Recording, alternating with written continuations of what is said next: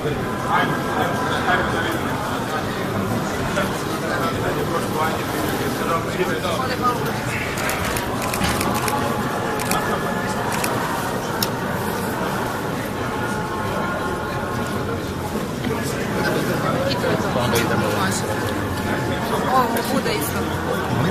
je sad se razli na strani vidjeti? Možemo i tu poprebe.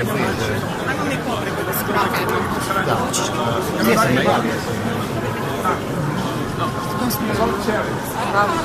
Ravno, ravno. Će dobro.